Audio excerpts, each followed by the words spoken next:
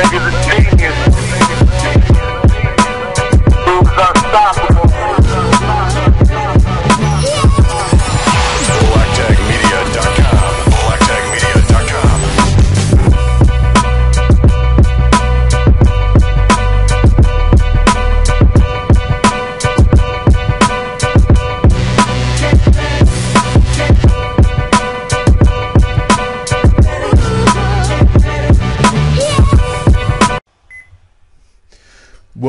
Back.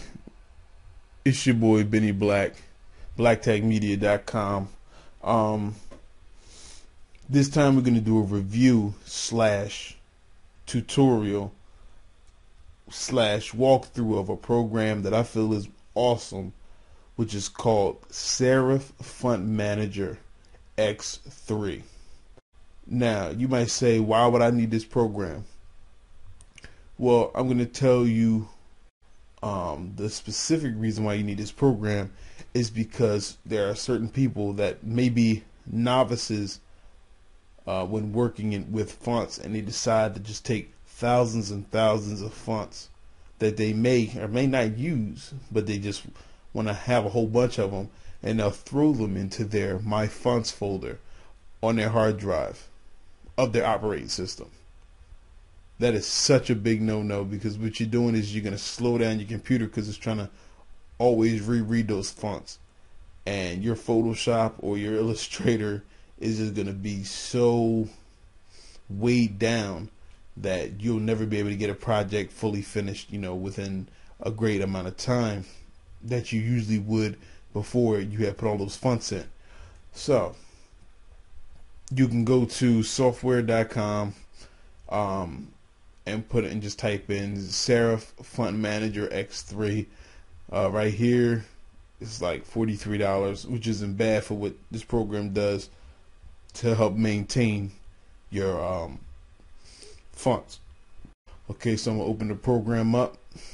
So okay, so with this program, Font Manager X3, this program allows you to not only just externally bring your fonts in but it, I mean, it allows you to, um, you know, do word lists, do uh, different tabs and groups, and I mean, it just it's just one of those programs that will never fail you when you're working with so many fonts, and you know you get tired of scrolling up and down in the small drop box in your program and trying to look through thousands of fonts that's in your My Fonts folder, and it just gets tiring you know, even though Adobe Photoshop um, or Adobe period, you know, for all of their programs put into where you can see a small visual of what the font will look like next to the actual name of the actually typeface font file.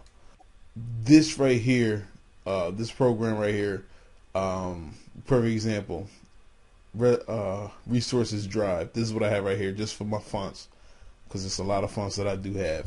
So what happens is is a perfect example. I'm gonna go right into um, the 1500 plus fonts right here. Okay, so as you can see, you can see that I uh, you can view the fonts in this top spread uh, folder, and I'm just gonna you know quickly zoom through a couple and to pick one, acting as if I'm working on a project right now. So okay, I got this Benny Blanco font.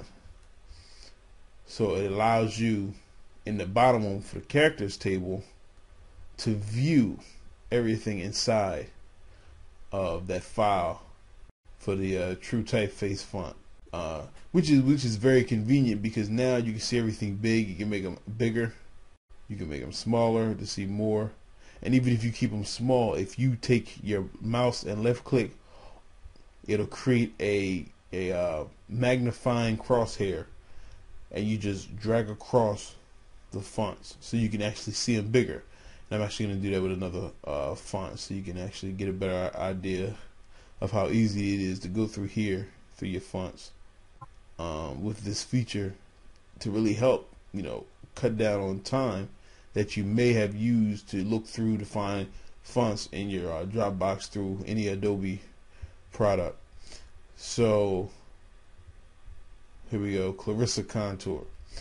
So same thing, left click down, and as you can see, it's allowing me to view the fonts. I mean, this is this is ridiculously nice, and and it just saves you time on all your projects to be able to see it. So now you're probably saying, okay, so now that I found the font that I want to use, how do I upload it?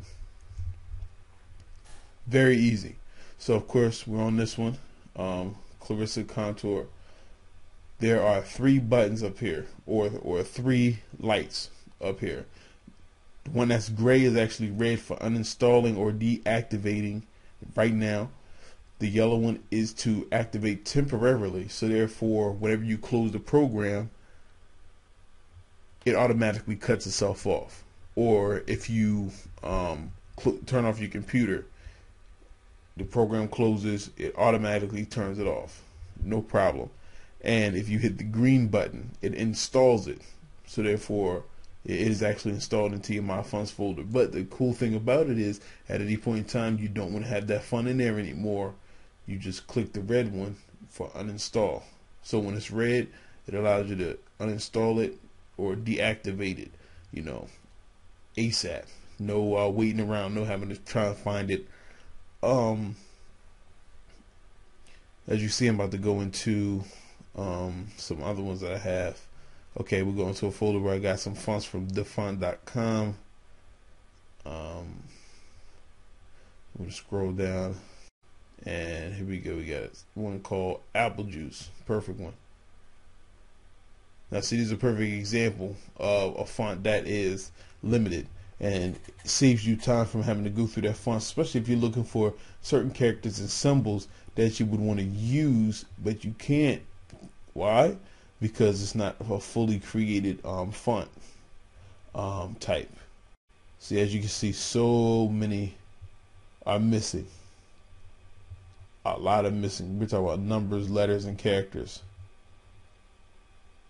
See, no U, no V, and this might be a sample to, uh, um, font too, but you know there are some fonts where the people who created them just either didn't have the time or you know was just creating specific letterings for you know a company, and these are the knockoff fonts.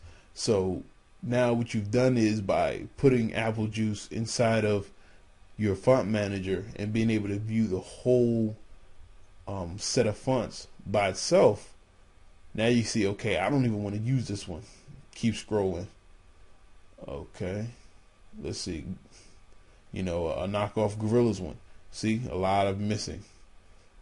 And as you can see, it's blank as I scroll, but then you can see these ones um, popping up, which is still a good font. You know, you can use that at any point in time. Let's see. So, so this just saves your your computer from the harsh headache of having all those fonts in there and slowing it down. Um, because I, I have, uh, I know I have thousands and thousands of fonts that I have, you know, just looked online and found a couple that I liked and just found, you know, packs of fonts from sites that people, you know, downloaded. Um, like this, this font is basically splatters. You know, pretty cool font a bunch of different splatters that could come in handy for you know a title for a mixtape cover or um, a flyer you know and just use it as a as a, a grunge brush at some point you know shapes things of that nature. Um I mean perfect program. I give it you know five stars you know um in my own personal rating. You know I don't I don't know if everybody would like this one. You know it's not for everybody but in in my case for what I do and how fast I like to work, this is a perfect program for what you're trying to do. So definitely, definitely give it a look. They have a they have a uh, a trial version where you can try it out for a little bit, and then of course you're gonna have to pay for it. Um, but once again, it's it's worth the money in my opinion. So there you go. This is your boy Benni Black. You can get at me on uh, blacktagmedia.com or you can Twitter me at it's Benni Black. Hit me on Facebook. It's Benni Black, Black Tag Media. Um, if you have any questions or have any tutorials or reviews you want me to do, just hit the inbox and I'll gladly do them.